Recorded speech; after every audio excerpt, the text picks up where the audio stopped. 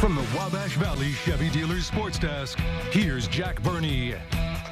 Good evening, everybody. Welcome back. A huge day for high school sports across the Wabash Valley. We start in volleyball. Sectional championships being played across the Hoosier State tonight. The Terre Haute South Braves were looking to make some history and win their first sectional title since 2010. It's South versus Bloomington North with the trip to regionals on the line. The Braves dropped the first set 25-23, trying to get it going in the second set. Shailene Blakely helps out the cause with a perfect serve for an ace to cut into the Cougar lead. Later in the second set, South sets up Tara Cooley, who hits it off a defender and down for a kill. The Braves keep battling. Here's Aniston Fell dropping the hammer for another South point.